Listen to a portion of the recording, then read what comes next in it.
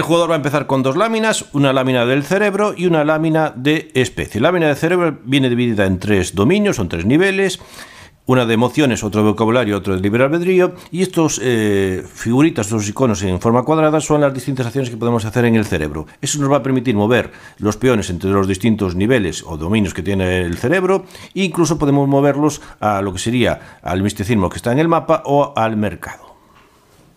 A la hora de explicar lo que sería el cerebro, tendremos un montón de información de las distintas acciones que tenemos en el juego. Esto no son acciones, son información. Las acciones están en las cartas y en la lámina de especies. Simplemente en el vídeo vamos a utilizar estos iconos como si fueran acciones para ser, digamos, para facilitar, en vez de ir buscando las cartas, para facilitar las distintas acciones que hay en este cerebro como eh, acciones posibles, pero teniendo en cuenta que solo son información. Porque las acciones solo se hacen en las especies, en la lámina de especies y en las cartas. Y la otra lámina es la lámina de la especie. Tiene tres columnas, esas tres columnas están referidas a las cartas, una es la columna de la cultura, otra de la política y otra de la industria.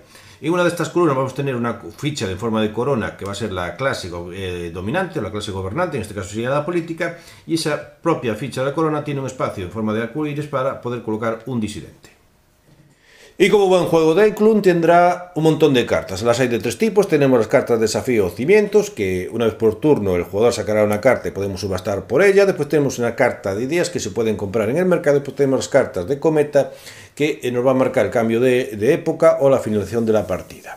Vamos a centrarnos en las cartas de eh, desafío cimientos. Al principio del turno el jugador puede digamos, subastar una carta de desafío y el jugador que la gana puede añadirla a su lámina especie como, eh, digamos, como acciones posibles que teníamos, es decir, como si un cimiento para poder realizar acciones. Pero, como dijimos, hay que subastarla. Esta carta viene marcada la época que, que tiene, aquí podemos tener lugar para colocar un disidente, estas son las acciones según el color que escojamos, este sería para la cultura y este sería para la industria, Aquí tendremos una representación gráfica y aquí tendríamos cuando realizamos eh, la subasta, antes de realizar la subasta tenemos unos eh, eventos que tenemos que sufrir todos los jugadores. Una vez subidos esos eventos se, iniciaría la subasta, que el ganador de la subasta ganaría lo que sería el Eureka, un beneficio que tiene. Y para poder colocar los cimientos tendrá un requisito. Si cumples ese requisito podrás colocarlo en la zona de cimientos como, digamos, eh, bases para poder realizar acciones con tus peones. Otro de los tipos de carta que podemos encontrarnos son las cartas de idea. Hay de tres tipos, relacionados con el tipo de columna de la lámina de especies, de cultura, de político, de industria, y hay para las cuatro épocas. En total habrá 12 tipos de idea. Eh, cada idea eh, se va a conseguir en el mercado pagando su coste y una vez que la consigamos la vamos a someter según la clase gobernante. Si la compramos o la podemos eh, copiar, pues podemos recibir el beneficio de Eureka. A diferencia de las cartas de cimiento, son bastante inestables y cuando quedan obsoletas se descartarían.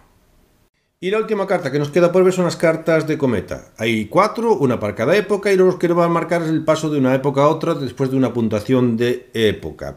En la última época, la época cuarta, lo que va a marcar la, finalización, o la finalización del, del, juego, con una puntuación final. Y que el jugador que la desafía, es decir, el jugador que la coge, la va a convertir en pionero.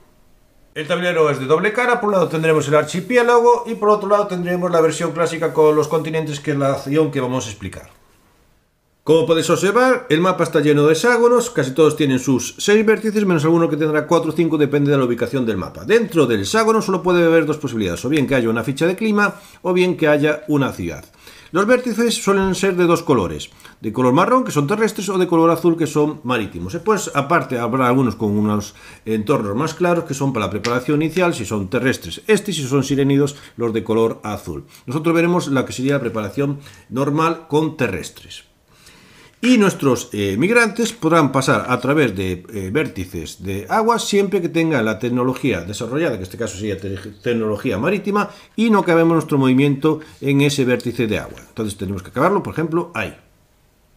Algunos hexágonos vienen con estrellas de 20 puntos con un número romano dentro. Se va a indicar que hay una catástrofe y el número romano va a indicar en qué época va a acontecer. Y nos encontraremos dentro de esos hexágonos con anillos. Los hay de color blanco, que es hielo, los hay de color verde, que sería jungla, azul que es el mar y eh, naranja que sería el desierto. Y algunos de esos anillos tienen estrellitas. Eso va a indicar que en la preparación hay que tenerlos en cuenta. Y dentro de los propios hexágonos vamos a encontrar recursos. Si son de color blanco pueden ser horticultura o biocombustibles. Esos podemos explotarlos a través de la acción de cultivar. Los marrones son animales. Si tienen una especie de mira telescopia o más, se consideran animales de trabajo. Si, si tuvieran una especie de flecha, se consideran animales de guerra.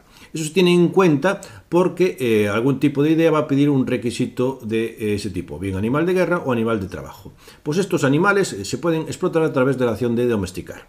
Y pues tenemos los de color negro, que son eh, especiales, pueden ser de minería, pueden ser de petróleo, pueden ser de uranio, como puede ser este, o pueden ser de lujo. Para poder explotarlos tenemos que poder realizar la acción de prospectar. Y para algunos vamos a necesitar determinado tipo de requisitos. Por ejemplo, si queremos eh, prospectar eh, petróleo en Oriente Medio, necesitamos una etapa cuarta de metalurgia. Si no, no podemos conseguirlo. Los hexágonos pueden ser de tres tipos. Pueden ser océanos permanentes, pueden ser plataformas continentales o pueden ser continentes. Los océanos permanentes tienen un círculo interno de color azul clarito. En ella no se pueden colocar ciudades terrestres y limitan el movimiento.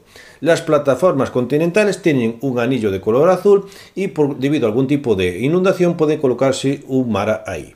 Y después tenemos las, el resto que serían continentales que pueden ser de color verde, blanco o naranja.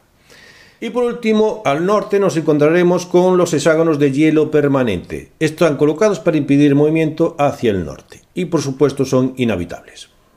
A nivel de piezas del juego tendremos primero los peones, que son siete, y son, según la posición donde se encuentren en el juego, pues pueden ser de dominio, pueden ser mayores o emisarios. De dominio son eh, aquellos que se encuentran en uno de los dominios de nuestro cerebro, ya sea en emociones, en vocabulario o en libre albedrío. Los que se encuentran, los peones que se encuentran en libre albedrío, se pueden especializar en mayores. Que se encuentran esos mayores en las cartas de idea del mercado. Y en cualquier dominio que estemos, ya sea emociones, vocabulario o libre albedrío, podemos realizar la acción de rezar y podemos ir a la zona de misticismo del mapa. Y aquí colocaremos nuestro peón de dominio, como veis en la zona de misticismo del mapa, que veis la acción de, rezar que aparece también en la lámina de cerebro y corresponde a la zona de cultura. Los emisarios se ponen en las ideas de otro oponente, en el muestrario de otro oponente, como si fuera, yo que sé, un diplomático o como una reina extranjera.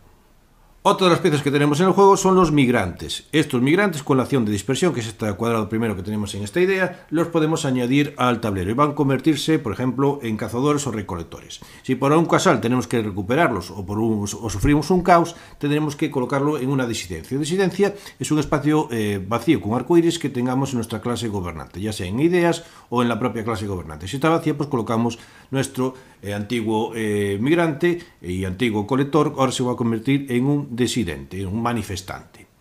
Y si por un casual tenemos que eh, deshacernos de este desidente por una represión, vamos a meterlo directamente en la reserva y aparte vamos a recibir una pérdida. Esa pérdida puede ser o bien una ciudad que tengamos en el mapa o bien un emisario o un mayor. Emisario, acordaros, es el que tiene que estar en las ideas de otro jugador y el mayor al que se encuentra en el mercado. Y las últimas piezas que vamos a nombrar son las ciudades. Están dentro de la zona política en la urbanización y cuando creamos una ciudad simplemente lo cogemos de la zona más a la izquierda y lo colocamos justo tapando el recurso. Cuando una ciudad se destruye, por ejemplo con una pérdida, vamos a devolverlo al espacio más a la derecha de nuestra zona de ciudades. Empezamos con la preparación de la partida, hay un montón de variantes, nosotros vamos a centrarnos solo en una, que es la de la preparación estándar con terrestres. Pero sepáis que hay juego básico y avanzado, podemos jugar el mapa clásico, el personalizado, el personalizado con cratones, podemos jugar el reino terrestre o el reino marino, dentro del juego avanzado puede ser con la primera diáspora o segunda diáspora, puede ser, más largo o menos largo, pues podemos jugar en solitario cooperativo y pues incluso podemos empatar con la el BIOS megafauna. Pero como dijimos, vamos a centrarnos en el modo eh, de preparación del juego estándar con terrestres. Escogemos un color, en este caso va a ser el verde, vamos a tener nuestra lámina de cerebro y nuestra lámina de especies. Nuestros 12 inmigrantes, nuestros 7 cubos, nuestros 7 peones y nuestras 10 ciudades. En partida de dos jugadores, obligatoriamente uno va a ser el Hobbit y otro va a ser el, Homo sapiens, o podemos utilizar los otros colores, en el cual uno va a ser el Neandertal y otro va a ser el Dinisovano.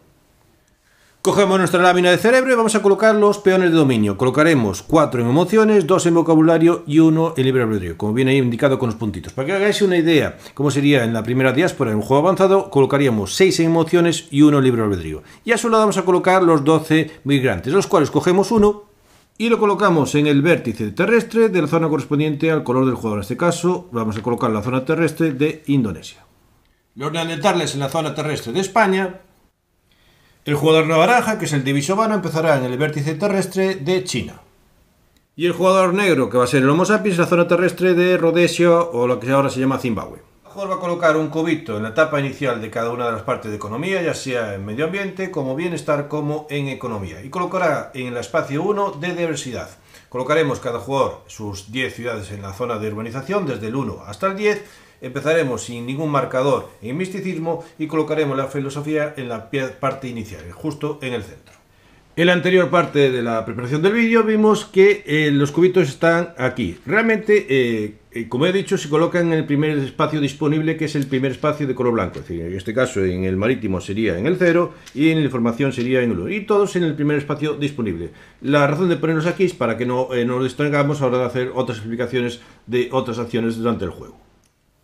Es el momento de colocar las fichas climáticas, blancas, azules, naranjas y verdes, según los círculos que tengan en cada uno de estos hexágonos. Tenemos que tener en cuenta el color y el número de estrellas. Si es una partida a cuatro jugadores, solo colocaremos en aquellas que tengan cuatro estrellas. Habrá un total de 16. Si es una partida a tres jugadores, colocaremos en las que tengan 3 y 4 estrellas. Habrá un total de 20. Y si es una partida de dos jugadores, colocaremos en todas. Habrá un total de 32. El mazo de desafíos vamos a colocar las cartas por época de desafíos, 1, 2, 3 y 4, y las cartas de eh, cometa de la época 1 hasta la época 4. Vamos a coger tantas cartas de cada mazo como número de jugadores, teniendo en cuenta que una partida a 4 jugadores va a coger 3 cartas, es decir, vamos a coger la misma cantidad de cartas para 3 como para 4 jugadores. Entonces vamos a coger 3 cartas para la época 1, que ya visteis que son 4 jugadores, 3 cartas de la época 2, 3 de la 3 y 3 de la 4.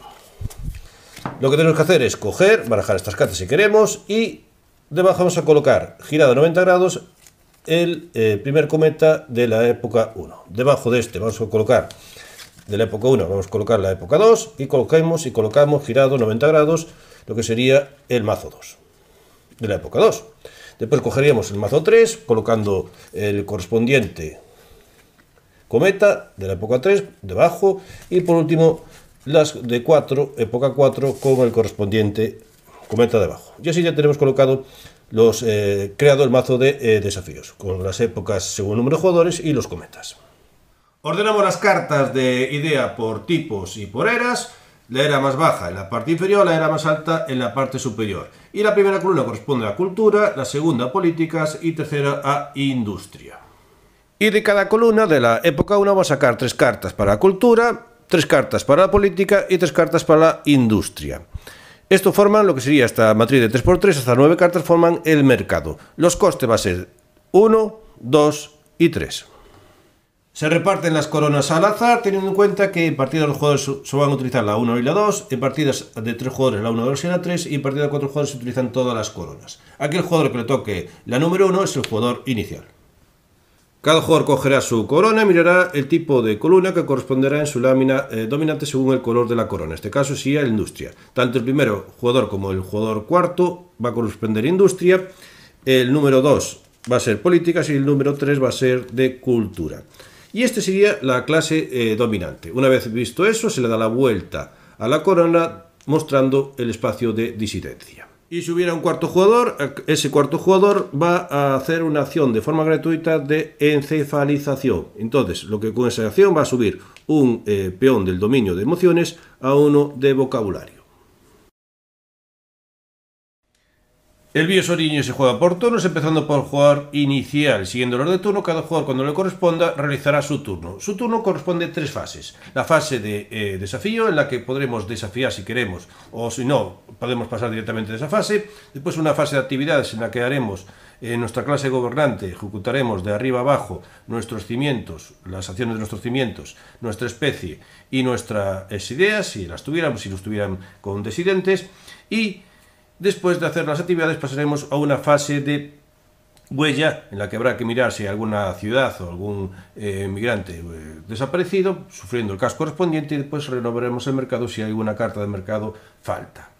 Después le tocaría, después de realizar ese turno, le tocaría el siguiente jugador, número 2, que era esas tres fases, eh, de desafío, actividades, huella y re, re, re, reestructurar el, el mercado, y así sucesivamente hasta que lleguemos a coger la carta de cometa de la cuarta época. Esa forma acaba el juego de forma inmediata y habrá una puntuación final.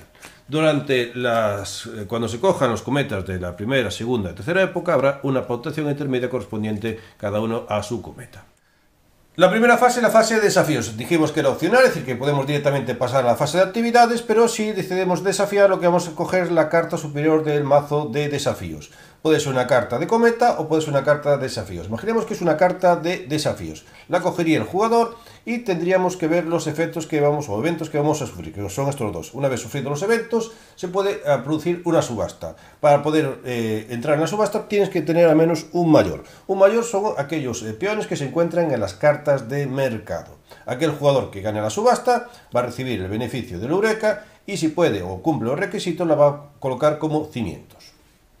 Y colocarla como cimiento es añadirla a tu zona de clase gobernante, tapando eh, lo, necesario y solo dejando visible las acciones de la clase gobernante. La otra posibilidad, que ahora de coger una carta de desafío, nos toque una carta de cometa. Simplemente ese jugador que ha cogido la carta de desafío de cometa la va a llevar a su zona de juego. Y la tercera opción dentro de la fase de desafíos que tengamos un pionero y en colación de globalización descartemos este pionero y avancemos uno o dos espacios el marcador de filosofía. La fase 2, la fase de actividades, lo que va a permitir realizar una acción o avance eh, visible en cada carta de la columna de la clase gobernante. Las acciones están en las eh, cartas de cimientos, en la lámina de especies y en las cartas de idea. Ahora de ejecutar esas eh, acciones van a ejecutarse de abajo arriba. Empezaremos por los cimientos, si estuvieran disponibles, después a la especie y después a las cartas de idea. Si hay más de una acción posible, pues tendremos que realizar una de ellas. Por ejemplo, en la primera carta de cimientos eh, solo hay una acción de cefalización. Si la quiero hacer, que no es obligatorio, pues la haría. En la siguiente carta tengo dos acciones visibles, pues escogería una de esas dos acciones. En la zona de, eh, especies hay dos espacios, pues escogería una de las acciones de abajo y una de las acciones de arriba si quisiera. Y pues tendría dos acciones eh, posibles. En la de ideas, pues haría una de esas dos si quisiera. Las acciones de las especies siempre están disponibles, las de ideas se pueden eh, caducar, pueden desaparecer y si eh, una carta de cimientos tiene un disidente, esa carta no, podemos realizar la acción de esa carta. Y la fase 3 es la fase de huella y rellenar mercado. Lo que haremos es comprobar si alguna ciudad eh, en el mapa o migrante eh, que hay que destruir, entonces va a provocar un caos. Después miraremos o diremos a los jugadores que actualicen la diversidad según el número de disidentes que tengan. Y por último, miraremos y por último, refrescamos el mercado, bajamos, eh, desplazamos las cartas eh, hacia el espacio rellenando huecos y sacamos cartas de la época correspondiente. Así se van devaluando los valores en el pago de mayores. Este es el mercado del juego, son tres columnas, una de cultura, una de política y otra de industria, distintos niveles, nivel 1, nivel 2 y nivel 3, y acordaros que con la acción de especializar, que es esta acción que tenemos aquí, nos va a permitir coger eh, peones que tengamos el dominio de libre albedrío, llevarlos a, a convertirlos en mayores para llevarlos al mercado. Y con la acción de inventar, que es esta que tenemos aquí, esta que tenemos aquí, nos va a permitir eh, pues, eh, coger cartas del mercado pagando sus costes, pagando sus costes teniendo eh, la cantidad de mayores en, en esos eh, niveles. Aquí tenemos que tener un nivel, de un, por lo menos un mayor para poder coger la carta correspondiente. Aquí tenemos que tener dos mayores, da igual que sean tuyos o de otros jugadores, en total tiene que haber dos para coger la carta. Y aquí tiene que haber un nivel 3. Por ejemplo, si tuviéramos estos tres mayores, uno del amarillo, otro del naranja y otro del verde, pues si quiera, haciendo la acción de inventar, podía coger esa carta tranquilamente. La parte inferior del tablero tendremos los marcadores de tecnología. Son seis, ahí vamos los jugadores indicando cómo van avanzando las distintas tecnologías. La primera que vamos a ver es la de huella ecológica, en la que va a indicarnos cuántos migrantes pueden tener un vértice. Después tendremos abajo la de eh, energía eh, nos va a indicar cuántos vértices puede un migrante dispersarse. En la parte del medio del tablero tendremos la metalurgia, que nos va a indicar cómo de fuertes son nuestros migrantes en la guerra, y la inmunología, cómo de resistentes somos a una enfermedad. Y por último tenemos el marítimo que va a indicar el número máximo de vértices de agua que podemos eh, movernos, nuestros migrantes y por último tenemos la información que el número máximo de eh, nos va a indicar el número máximo de mayores que vamos a realizar con la acción de especialización y aparte el número máximo de ideas que podemos tener en la columna de nuestra clase gobernante. Y un dato importante, cuando avancemos con nuestros marcadores, aunque pasen cosas malas, nunca vamos a retroceder. Y en la parte inferior del tablero también tenemos los registros para los puntos de victoria de cometas y punto de victoria final. El misticismo servirá para la puntuación del primer cometa, la organización para el segundo cometa y la diversidad para el tercer cometa. Y todos ellos nos van a servir para la puntuación final. Al principio de la partida no tenemos ningún peón colocado en el misticismo, podemos añadirlos con la acción de oración y podemos sacarlos del misticismo con la acción de arte o a través del arte. El urbanismo, el número visible va a indicar el número de urbanismos que tenemos, o nuestro número de urbanismos iba a coincidir con el número de casas o de ciudades colocadas. Acordaos que cuando se colocan, se colocan del lado más izquierdo y cuando se ponen, ponen el lado más a la derecha. Y la diversidad nos va a indicar el número de disidentes que tengamos. Hay determinado tipo de eventos y transacciones que van a producir caos. Por cada caos que produzcamos tenemos que pagar un migrante y ese migrante tendrá que venir del tablero general. Si no tuviéramos suficientes en el tablero general, tendremos que cogerlo de nuestra reserva particular. Y como dijimos, se van a coger, si no hay en el tablero general, de la reserva particular. Y nunca podemos coger más de las necesarias de la disidencia. Hay determinado tipo de eventos que no van a producir caos. Por ejemplo, la revolución no produce caos. Las enfermedades, que es un tipo de evento que veremos, tampoco producen caos. La catástrofe tampoco produce caos. El cambio climático tampoco produce caos. Y la hambruna y la predicación no producen caos. Y esos migrantes que vamos a pagar, en este caso son dos, vamos a colocarlos dentro de nuestra columna de la clase gobernante en espacios vacíos de desidencia. En este caso puedo colocarlo aquí y otro que tengo disponible en mi corona. Si ahora de colocar más disidentes o migrantes que se van a convertir en disidentes no tuviera espacio para colocarlos, se va a producir lo que se llama una represión y una revolución. Y en las cartas vamos a encontrar dos espacios con arcoíris, uno con la figura del migrante y otro sin la figura del migrante. Aquellos que tengan la figura del migrante sí podemos colocar al migrante ahí y convertirlo en disidente. En estos no podemos eh, colocarlo. Y en ambos casos sí que se tiene en cuenta para aumentar la diversidad. Y esto nos sirve como excusa para explicar qué es una revolución. Una revolución es el cambio de clase gobernante. Puede ser tranquila, utilizando la acción de elecciones, o bien puede ser caótica porque hemos sufrido un caos. En la tranquila vamos a nosotros a elegir la nueva clase gobernante, en la caótica nos van a obligar a la nueva clase gobernante sea pacífica o sea caótica, tenemos que seguir unos pasos. El primer paso es la represión. Tenemos que reprimir cada disidente que tengamos en nuestra clase gobernante. Y eso va a producir unas pérdidas, que bien pagaremos con mayores o con ciudades por cada disidente que tengamos que eh, devolver a nuestra reserva. En el caso de que ya no nos queden mayores ni ciudades, podemos pagarlos con migrantes. Si solo queda un migrante, ese migrante se considera sacrosanto y quedaría en el tablero tal como está. Esto sería la común para la revolución caótica como la revolución tranquila. Pero esto solo va a afectar si hay caos, es decir, si es una revolución caótica. Vamos a, sufrir un push. El push quiere decir que vamos a coger la última carta de nuestro cimiento, es decir, la carta más baja de nuestro cimiento, y la vamos a girar.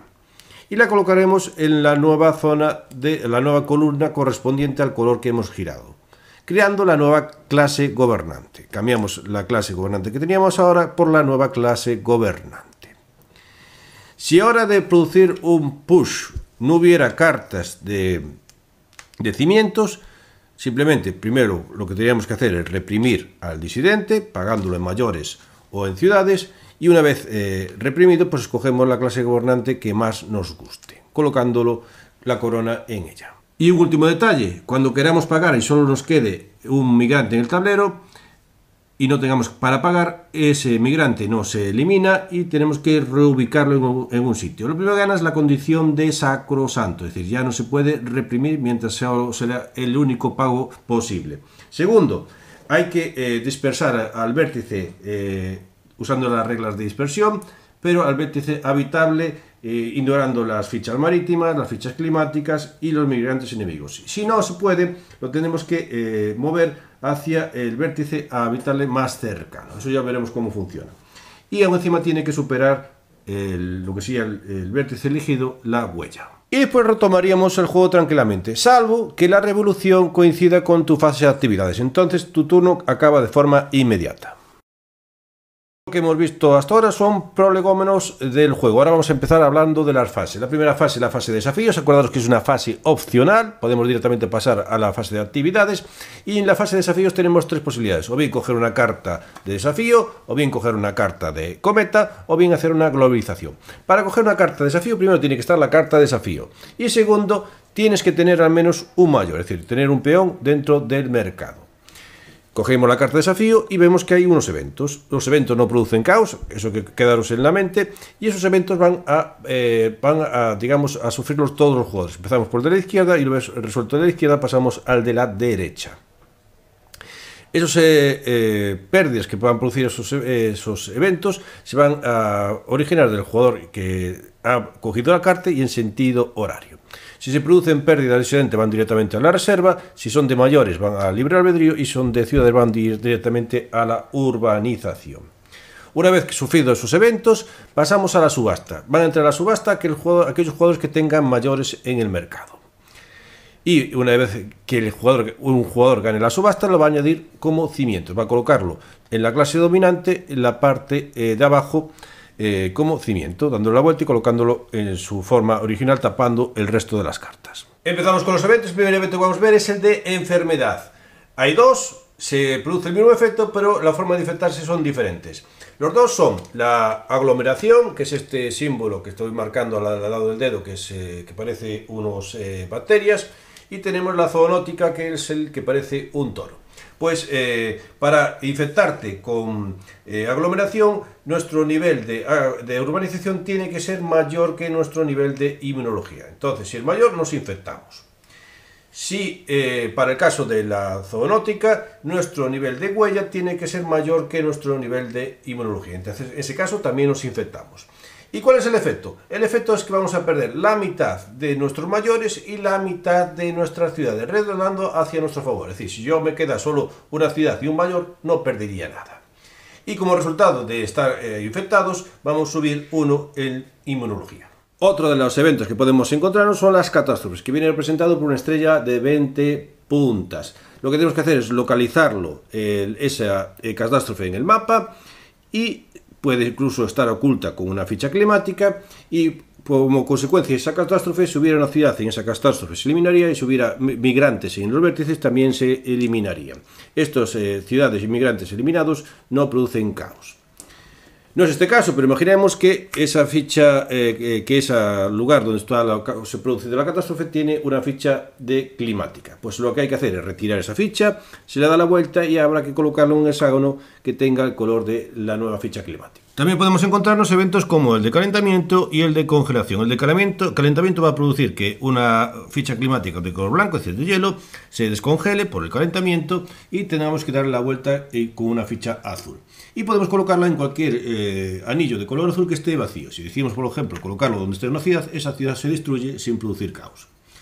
La congelación, pues es el proceso inverso.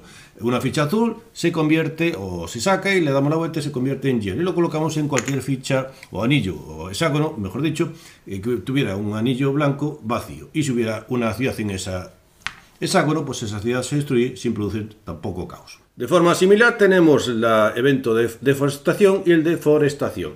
El de deforestación es el que está más a la izquierda, aparecen troncos cortados, el de deforestación es una bellota. Para deforestar cogeremos una ficha eh, climática verde, la sacaremos, le daremos la vuelta por el lado naranja y colocaremos un hexágono con un anillo naranja vacío, es decir, disponible.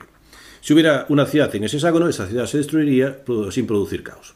Y la forestación sería al revés. Cogeríamos un anillo naranja, lo sacaríamos, le daríamos la vuelta y lo colocaríamos en un hexágono vacío eh, de color verde y si hubiera una ciudad en eh, ese hexágono, pues se destruiría sin producir caos. También tenemos el evento de polución, que es este pescado. Habrá que comparar el nivel de urbanización con el nivel de energía. Si el nivel de urbanización es mayor que el de energía, lo que se va a producir es un caos. Y aparte, o bien perdemos o un mayor o destruimos una ciudad. El hambre, vamos a también comparar la, urbanización, pero esta vez con las huellas, igual que las enfermedades, y el efecto es el mismo. Si nuestra urbanización es más grande que nuestra huella, lo que vamos a sufrir inmediatamente es la pérdida de la mitad de nuestras ciudades y la mitad de nuestros mayores, redondeando hacia nuestro favor. Otro de los eventos más graciosos es la crisis. Ahora que mira la posición donde se encuentra el marcador de filosofía para saber qué tipo de crisis es. Si estuviera aquí hacia el lado de la derecha tendremos un genocidio.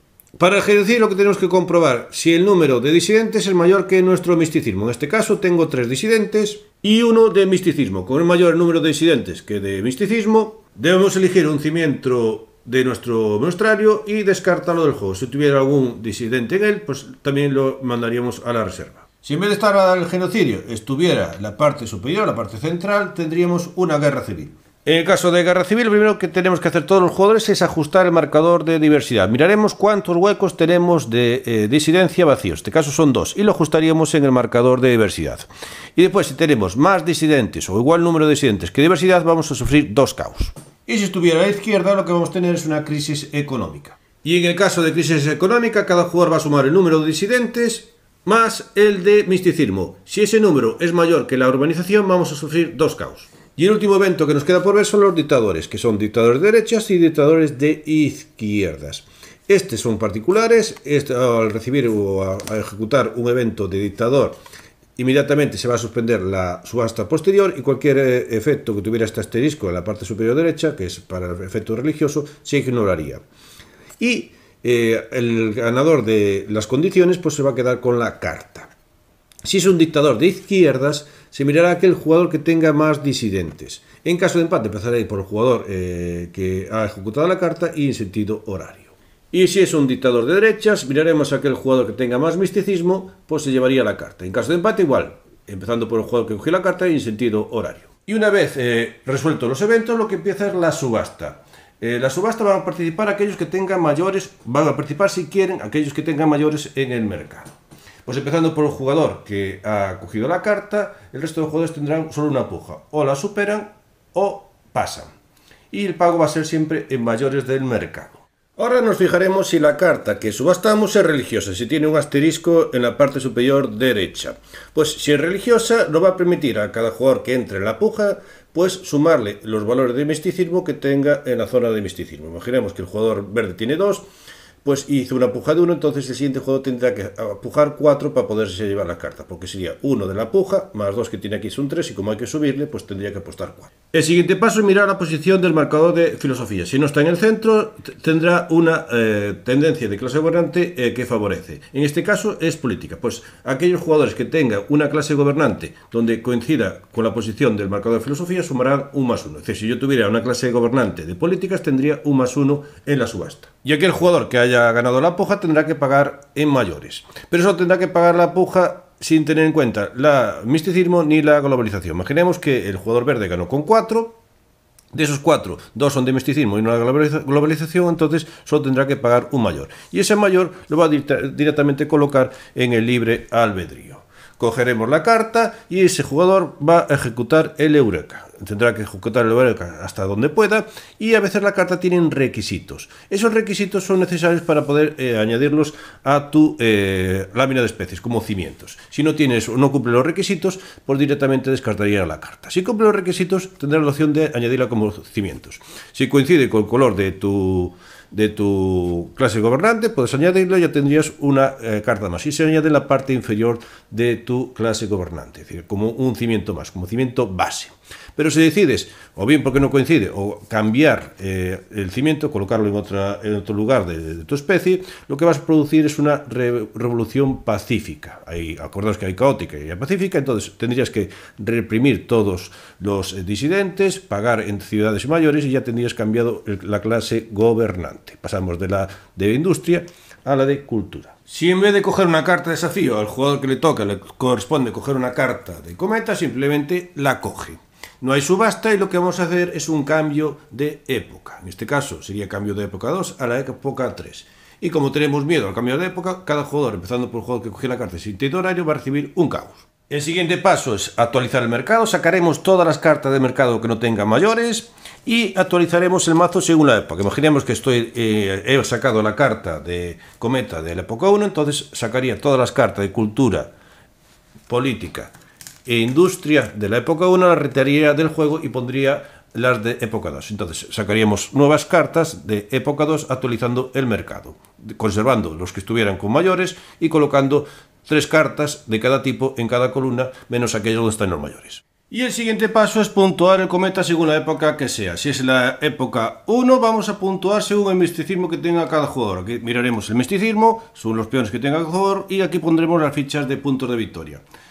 Se va a puntuar según el jugador que tenga más misticismo con respecto a los demás. Es decir, ganará un punto de victoria por cada jugador que tenga por debajo de él en, cantidad de misticismo. Por ejemplo, aquí el jugador verde tiene dos y el resto no tiene ninguno. Entonces tiene tres puntos, porque tiene más que este, más que este y más que este. Y el resto de jugadores no recibiría ningún punto porque no tiene más que los demás. Y como tiene tres puntos, colocamos tres puntos en el lugar correspondiente del misticismo, en la cultura. Estos puntos que se ponen va a ser un punto de victoria al final de la partida por cada ficha que coloquemos ahí. Con el cometa número 2 lo que vamos a puntuar son la urbanización, el urbanismo. Se mirará que el jugador que tenga más urbanismo y aquellos jugadores que estén detrás de él que tengan menos urbanismo, por cada uno de ellos ganará un punto de victoria. Imaginemos que el verde tiene 3, el, amarillo 2 y el resto ninguno. Pues el verde ganaría 3 puntos y el amarillo 2 puntos. Y en el cometa número 3 lo que vamos a puntuar la diversidad. Ganaremos un punto de victoria por cada jugador que tenga menos diversidad que nosotros.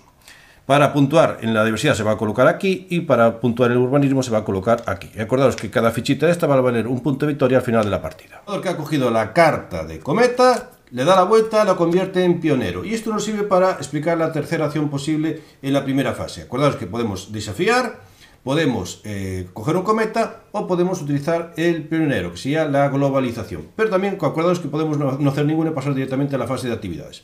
Pues si decidimos hacer la globalización, lo que, hacemos es descartar esta carta de pionero y avanzamos uno o dos espacios en el marcador de filosofía. La primera acción que vamos a ver es la acción de especializar, que la puedes encontrar en nuestra lámina de cerebro como en nuestra lámina de especie, que es la de la llave inglesa. Y nos va a permitir mandar eh, peones que están en el dominio del libre albedrío a lo que sería el mercado. Y ese peón que venía del dominio, ahora de llevarlo al mercado, se convierte en un mayor. Y lo podemos colocar en cualquier carta del mercado, ya sea vacía o ocupado por un jugador, sea contrario, o el nuestro, o que haya más de uno. Simplemente escoger una de las nueve cartas para colocar nuestro mayor.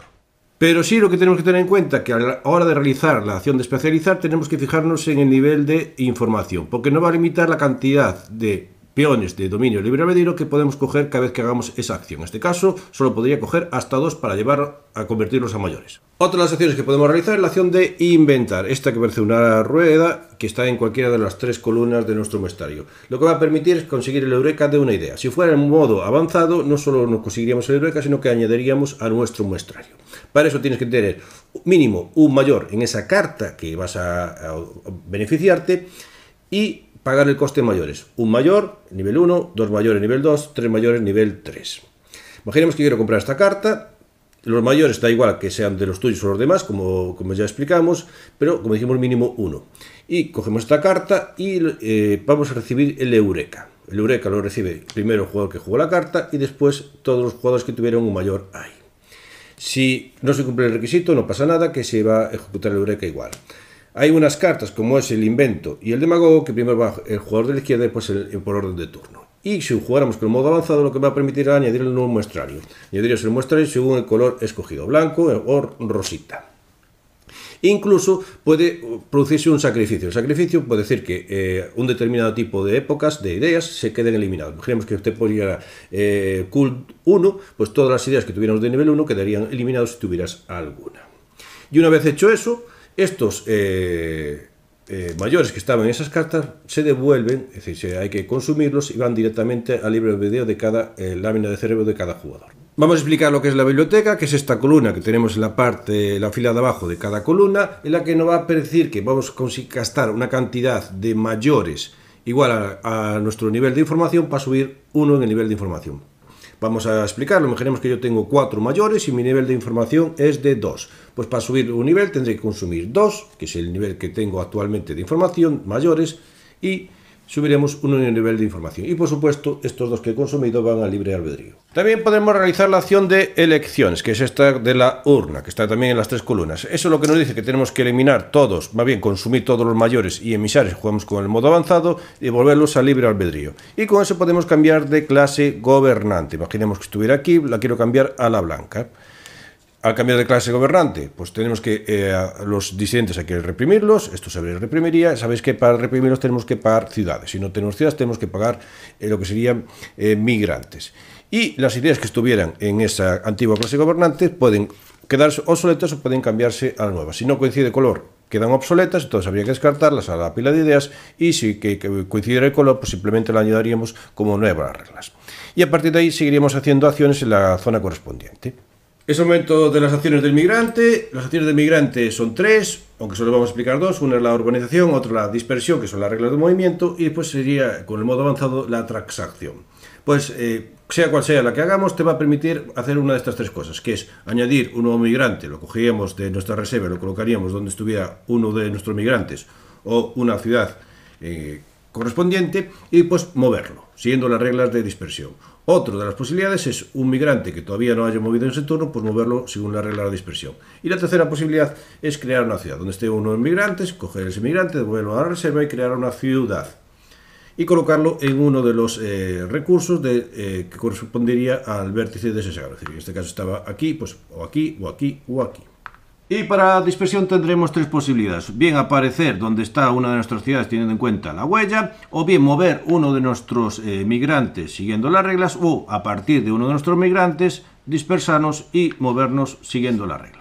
Lo primero que hay que mirar es cuántos eh, vértices se puede mover nuestro migrante. Para eso tenemos que recurrir a la tecnología de energía y mirar cuántos, eh, el número indicado en esa etapa. En este caso sería cuatro. Y podemos movernos hasta cuatro pasos. Si ahora de eh, crear el migrante, en vez de coger uno que ya estuviera, creamos un migrante, ese migrante tiene que salir a partir del primer hexágono que coincida esa ciudad. En este caso sería cualquiera de estos menos en los sirénidos, que va a ser todo al revés. El último que donde tiene que acabar el movimiento tiene que ser uno terrestre. Otro de los aspectos que tenemos que tener en cuenta es el, el, digamos, la tecnología marítima, es decir, cuántos pasos de agua podemos movernos teniendo en cuenta que si somos terrestres no podemos acabar en el agua. Al principio de la partida estaremos en cero y tardaremos un tiempo en poder movernos por, agua eh, no hemos evolucionado y eh, esa eh, cantidad de pasos nos va a determinar el número de pasos que podemos movernos por agua siempre que no acabemos en agua. Imaginemos que tuviera una etapa de 4, que es lo que hemos visto antes, y 2 de agua. Pues yo puedo hacer 1, 2, 3, que son los máximos pasos de agua puedo terminar, y como no puedo terminar en agua, pues tendré que terminar aquí, que es tierra.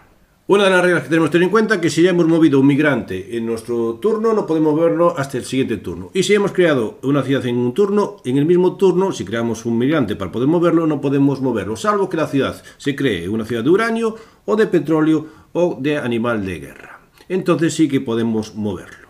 Y ahora de moverlo podemos pasar a través de otro jugador siempre que no quedemos el mismo vértice que el otro jugador si le pedimos permiso y ese jugador nos lo da.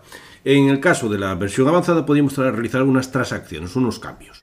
Si estuviéramos en un vértice como Hawái o las eh, Musicians Simmons, eso quiere decir que eh, puedes conectarte con el punto de vértice del otro lado del tablero, es como si fueras dando la vuelta al mundo. El detalle final es que un migrante no puede pasar entre dos fichas o moverse entre dos fichas climáticas, si puede pasar de un habitable a no habitable. Y por último, si un eh, migrante se queda atrapado por fichas climáticas pues, debido a los eventos, pues tendrá que esperar ahí hasta que podemos eh, realizarle una suprimirlo o por avance tecnológico. Toca hablar de la acción de urbanizar y se hace a través de tres acciones. Una sería la de domesticación, que es esta especie de ADN, después tenemos la de cultivo, que sería estos triguitos, y después tenemos la de prospección. Pues haciendo una de esas va a permitir urbanizar. Urbanizar es convertir un, uno de nuestros migrantes en una ciudad. Y el espacio del vértice, es decir, donde el hexágono donde vamos a colocar la ciudad, tiene que ser habitable, es decir, que no tiene que haber ficha de, de eh, climática. Entonces, esto lo mandamos a la reserva, cogemos el que está más a la izquierda de nuestra zona de urbanización y colocaríamos dentro lo que sería la ciudad y hemos urbanizado. Hay veces que el mismo espacio tiene para dos recursos. Pues para poder eh, hacer, utilizar el segundo recurso tendremos que tener otra vez un migrante ahí,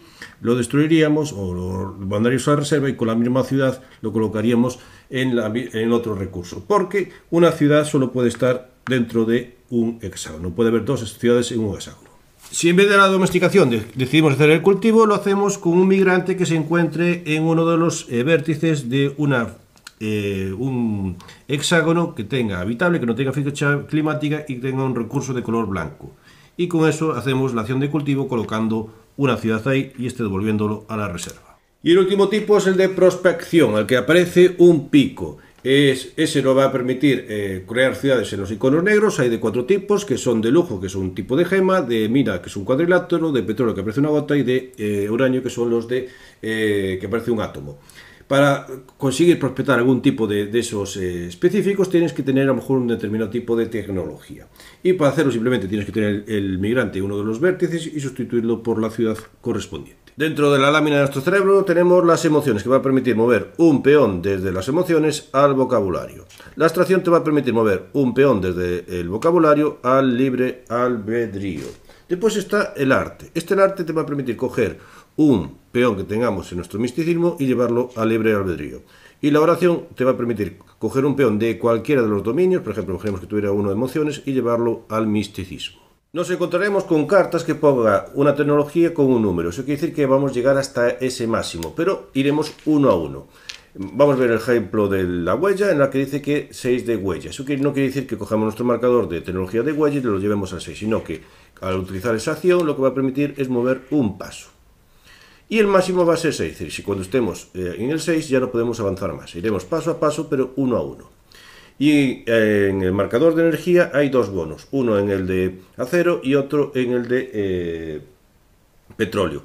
Cuando nuestro marcador llegue a cero, pues nos va a permitir mover otro marcador de tecnología menos el de energía un paso. Es decir, si yo llego aquí, puedo mover, por ejemplo, este paso aquí. Ese o cualquiera de las otras tecnologías. Y cuando llegue el de petróleo, lo pasará, pasará lo mismo, que podemos mover un paso cualquier tecnología menos la propia de energía. En las cartas de dictadores vamos a encontrarnos con la purga. Eso escogeremos un, uno de las columnas de los cimientos y todas las cartas de ese color que estuvieran ahí se eliminarían, solo quedaría esto, es decir, va a obligar a ese libre pensamiento. Y si hubiera que disidentes ocupados, pues habría que suprimirlos. Y después hay un símbolo que es el del demagogo que va a permitir movernos un espacio en el marcador de filosofía. Una vez acabada la fase de actividades, pasamos a la fase de huella y mercado, en la que iremos en la fase de huella comparando hexágono por hexágono cuando, con nuestro color nuestro marcador de huella. En ello se va a sumar las figuras, tanto tuyas como de los otros jugadores que estén en su hexágono, es decir, tanto las ciudades como los migrantes tuyos y los demás. En este caso tengo una huella de 3 y hay 4. Entonces tendré que eliminar o bien la ciudad o bien el migrante para eh, poder estar dentro de la huella, es decir, estar eh, dentro de la inanición. Entonces, por cada eh, migrante que eliminemos, lo vamos a poner en la reserva, vamos a sufrir un caos. Y por cada ciudad que eliminemos, eh, vamos a ponerlo en la zona de urbanización, pero eh, sufriremos un caos. Lo que no podemos eliminar son los migrantes de otros juegos, tenemos que eliminar los nuestros. El siguiente paso de la fase 3 es el rellenar el mercado. Miraremos si hay 9 cartas, es decir, 3x3, si faltan algunas se repondría. El último paso es la diversidad. Se le pedirá a los jugadores que actualicen su marcador de diversidad, es decir, mirarán en sus cartas cuántos espacios tendrá el sin desidente y lo marcarán o lo registrarán en el marcador de diversidad. En el momento que se coja el cometa número 4, acaba el juego de forma inmediata. Ya no hay que rellenar el, mercado, no hay que mirar lo de la inanición y tampoco sufriremos caos. Habrá que mirar la puntuación final. Para eso, cada juego mirará su puntuación de cultura, su puntuación de política y su puntuación de industria. Mirará cuál es la mayor y la comparará con el resto de los jugadores. Si hay empate, cada uno se va a ver la suma de las, de las tecnologías de forma alternativa y si perdura el empate, pues eh, habrá un ganador. Para el desempate no se tiene en cuenta la eh, filosofía. ¿Por qué lo de la filosofía? Porque si el marcador de filosofía está en agnosticismo o igualdad, no se va a tener en cuenta la puntuación de cultura. Si el marcador de filosofía está entre eh, abolicionismo o libertad, no se va a tener en cuenta la puntuación política. Y si se encuentra en pacifismo o unidad, no se va a contar la puntuación de industria. Pues visto eso, lo que hay que primero mirar el, dónde se encuentra el marcador de filosofía para ver si eh, vamos a no tener en cuenta un tipo de doctrina. Y segundo, ir cada jugador viendo cuánta puntuación tiene en cultura, cuánta puntuación tiene en políticas y cuánta puntuación tiene en industria. Porque de la que tenga más es la que va a comparar con el resto de los jugadores. Para cultura, se va a tener en cuenta los puntos que has ganado de cultura, las fichitas que tienes aquí, más el misticismo actual, es decir, cuántos peones tienes en misticismo. Entonces sería, por ejemplo, aquí tengo tres fichitas más dos, cinco. Y la posición actual de la suma de tu huella más tu energía. En este caso sería esta más esta, pues sería la, la suma de las dos, pues sería 9 más 2, 11, más 3, 14 en cultura. Para política, se va a sumar las fichas que tengas de, eh, de victoria política por el cometa número 2, más la posición actual de que tuvieras de, urbanización, imaginemos que estuviera aquí, entonces sería un 4, más la posición, la suma de lo que sería metalurgia más inmunología. Pues ese sumatorio sería la puntuación de política. Y para industria se va a sumar la cantidad de fichas que tengas del cometa 3, más la puntuación actual de diversidad, y la suma del marítimo más información. Y esa sería la, la suma de industria. Se comparará al jugador que tenga más, eh, más de una de ellas, es decir, presentará la que tenga más y comparará con el que tenga, los otros jugadores en la, en la que tenga más. Pues el que jugador que tenga más puntos de victoria de una doctrina será el ganador, teniendo en cuenta siempre la posición de la filosofía. Esto ha sido BIOS Origins.